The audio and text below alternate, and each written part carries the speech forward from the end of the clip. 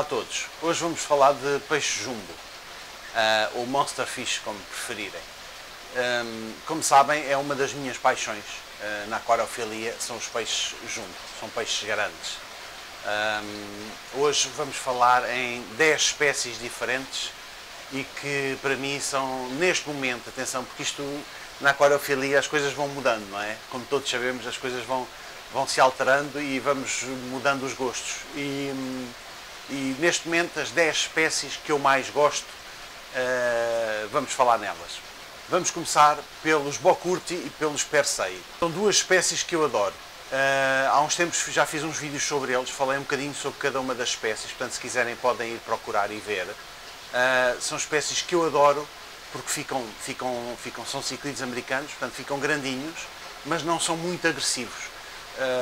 Por norma, os ciclídeos são peixes agressivos, defendem os seus filhotes e por aí fora, mas estes não são assim tanto, portanto conseguimos manter num aquário uh, estas duas espécies sem grandes problemas. São peixes herbívoros, são peixes que gostam de comer vegetais, portanto comem fruta, comem, enfim, este tipo de coisas, são, os, os frutas caem nas, das árvores, portanto são peixes bem interessantes, grandes, com umas cores, os bocurte então têm umas cores brutais, tem um laranja que fica fabuloso, é uma, são duas espécies a explorar.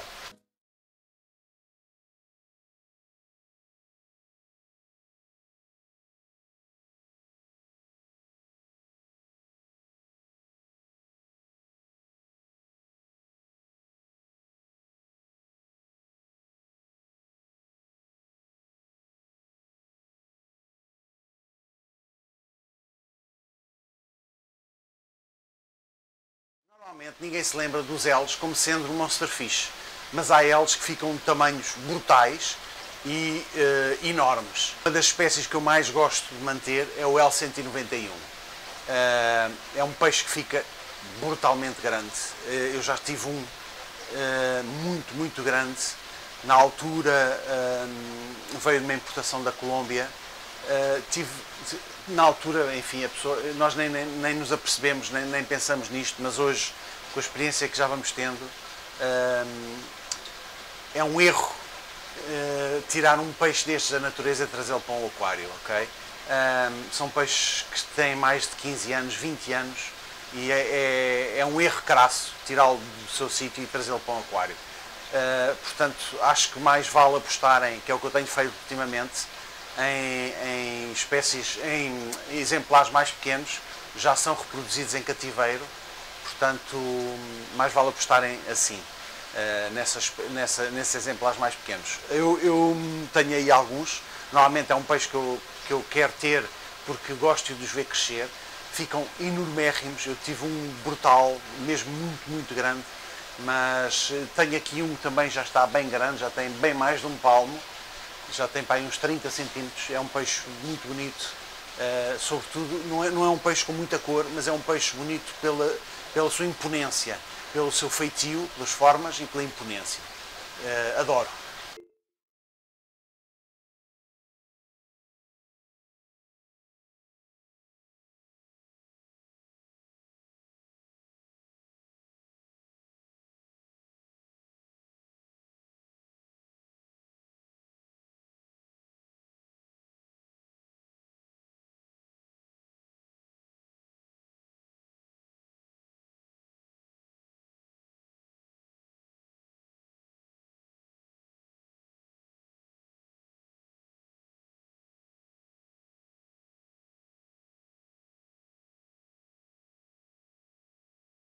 Espécie que eu estou a aprender a ter são os distichodos. Os distichodos são peixes africanos, uh, vêm da zona do Tanganica e são peixes que ficam em aquário, para uns 40 centímetros, mais ou menos, mais coisa, menos coisa. São peixes que ficam bem engraçados e são peixes que têm um formato engraçado, eu gosto. Quando são pequenos, então as cores, quando são mais pequenos, as cores são brutais, têm um vermelho e um laranja uh, muito, muito engraçado e, e, são engraçados para manter em peixes, uh, em aquários com peixes monster. Portanto, são peixes que ficam grandes, 40 centímetros, é na natureza atingir os 70, mas normalmente em aquário 40, 40 e poucos centímetros, pelo menos de toda a informação que andei a pesquisar sobre eles é, é, é o que fala. eu tenho neste momento tenho três, uh, são peixes não, em adulto não, não se, só em aquários muito, muito grandes é que podem estar juntos, uh, portanto em adulto convém ter um por aquário. Um, eu tenho três neste momento, tenho um luçosso e tenho os cheques fachados, uh, tenho, tenho dois, portanto estou, estou a ver o que é que isto vai dar, sou capaz de, de encomendar mais alguns, porque estou, estou a adorar a espécie.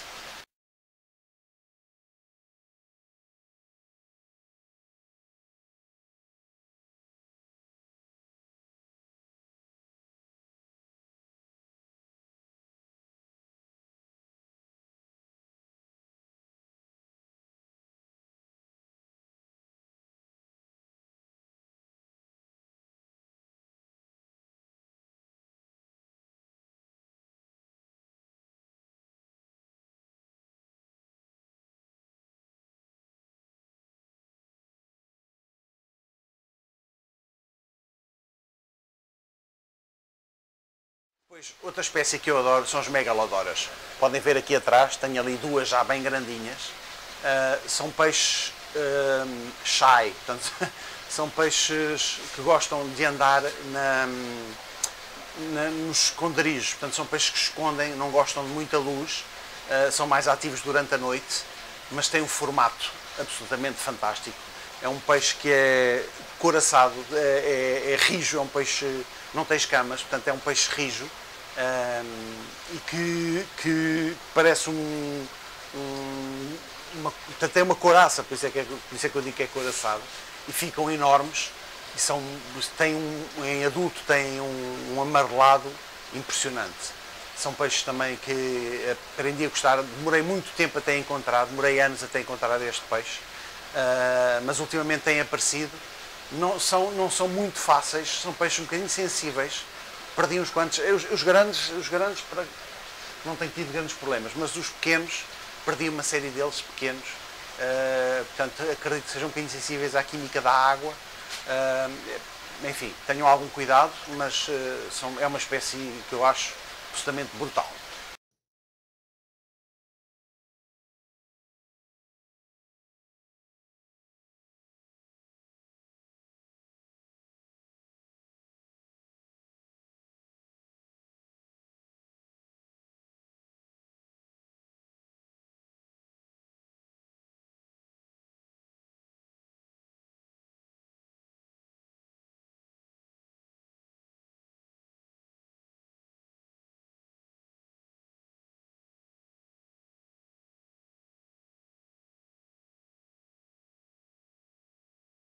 Espécie que eu adoro são os gares.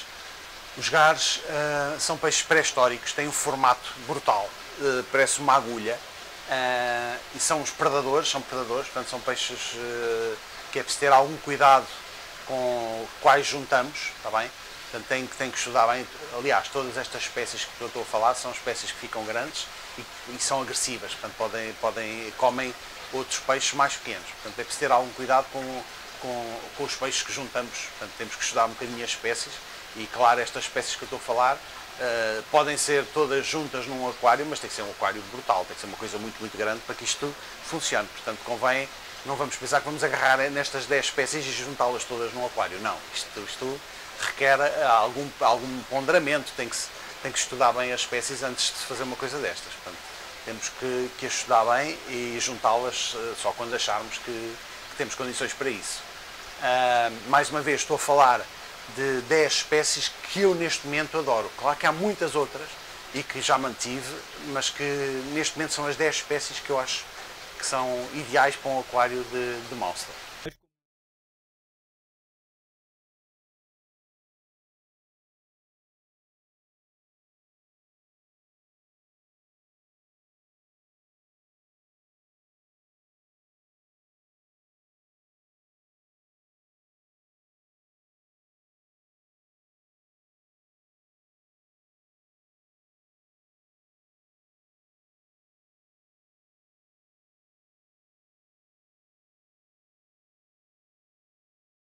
Outra espécie que tenho vindo a gostar cada vez mais são os datinhoides. Um, antigamente era, era, uma espécie que eu não achava grande piada, mas a partir do momento que comecei a ter, comecei a achar bastante interessante. Uh, tem, tem o, o formato do corpo, as listas e a cor são muito, muito interessantes. E o comportamento é um predador nato. A forma como ele, ele, como, como ele abre a boca e apanha a comida é, é depredador, não há, não, há, não há nada a dizer. Uh, mas são, são peixes que eu cada vez gosto mais, cada vez me interesso mais por eles. Uh, portanto, olhem, é mais uma, é mais uma das, das, que eu, das que eu gosto.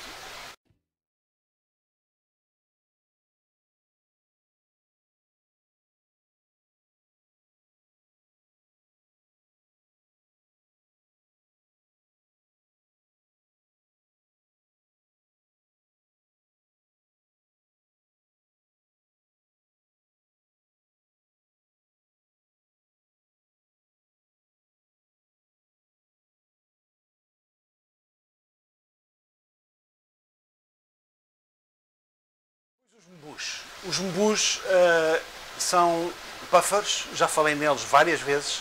Tenho um aqui enorme. Ehm, os mbus são peixes absolutamente fantásticos, são diferentes de todos os outros. Uh, são peixes balão, peixe balão de água doce. É um peixe que fica muito grande. É das poucas espécies que não é agressiva para com outros peixes. Normalmente os peixes balão são muito agressivos. Esta espécie não é. Um, e são peixes que ficam brutais num aquário de monster. O que eu tenho já tem uns 50 e tal centímetros, portanto acredito que não passem dos 60, mas este já tem 50 e tal centímetros e precisa de um aquário maior. Um, estamos a construir um, portanto em breve irá para um, um aquário grandinho e aí ficará bem melhor.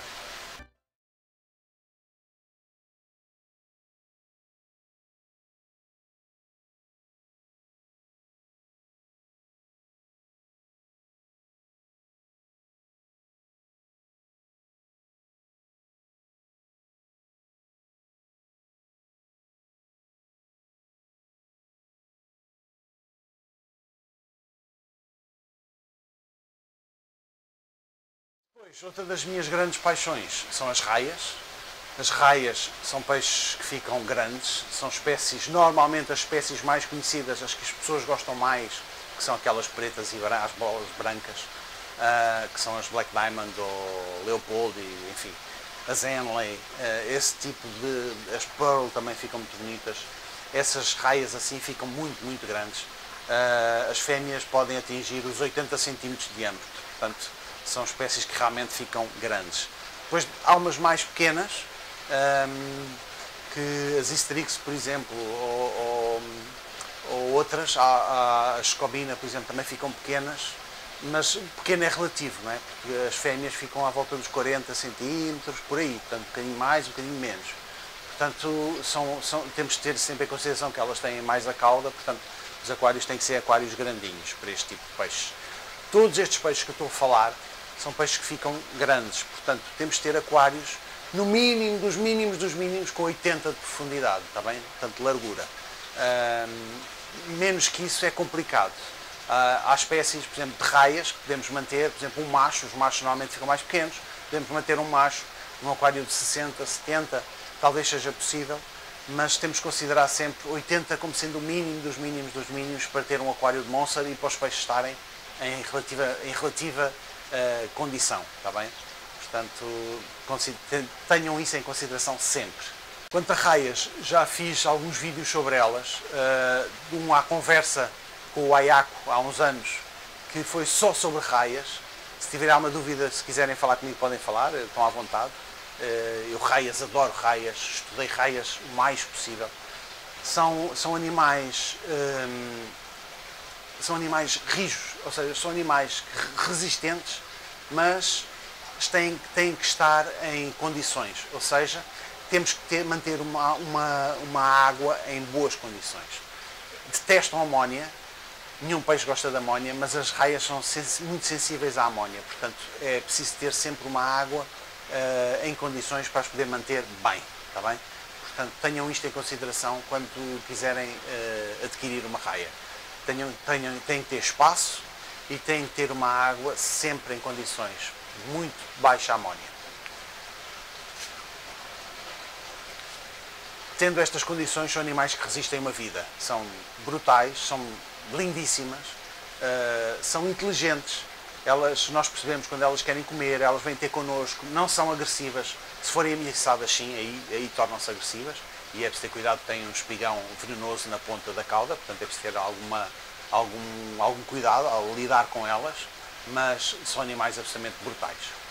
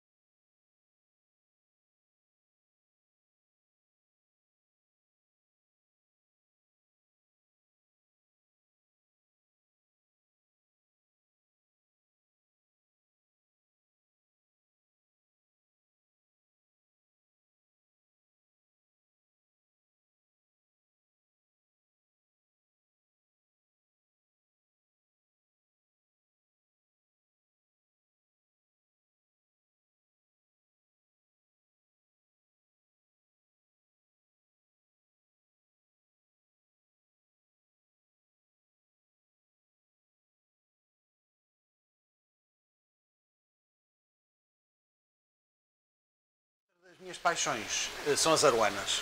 As aruanas são animais absolutamente fantásticos. São animais muito, muito bonitos.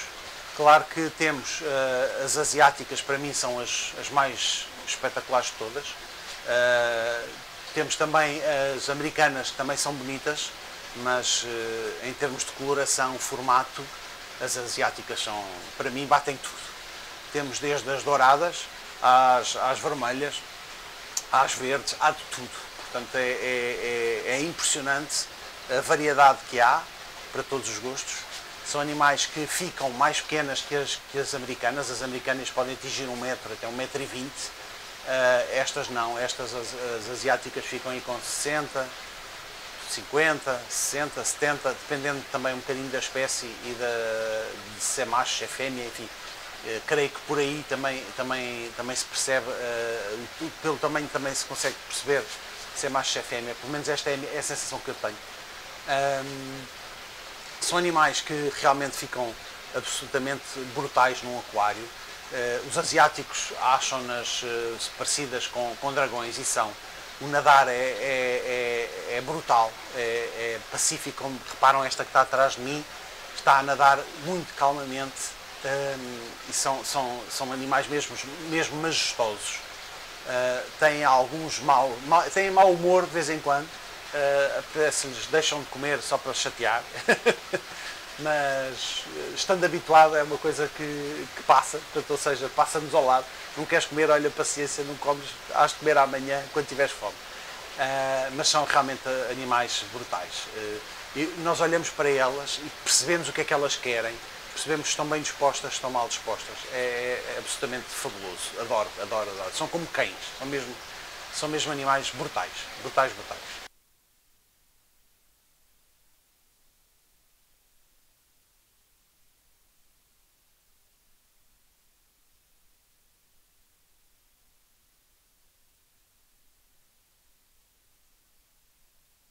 Bem, falei-vos de 10 espécies de monsterfish que eu neste momento adoro. Portanto, são espécies que, que eu acho que qualquer um devia manter num aquário de monsterfish. Portanto, pensem nisso. Nunca se sabe. Portanto, podemos um dia uh, querer adquirir uma, um peixe destes e já sabemos como, é que, como eles são. Bem, falei-vos de 10 espécies de monsterfish que podemos manter. Uh, claro que há deste, dentro, deste, dentro dos monsterfish há peixes muito maiores, mas que exigem aquários brutais. Estes exigem aquários grandes, sim, mas não, não é obrigatório ser uma coisa monstruosa. Portanto, é possível manter em casa, tendo um aquário grandinho, é possível manter estas espécies. Chegamos à parte do vídeo em que vamos ver o sorteio da Norsefine.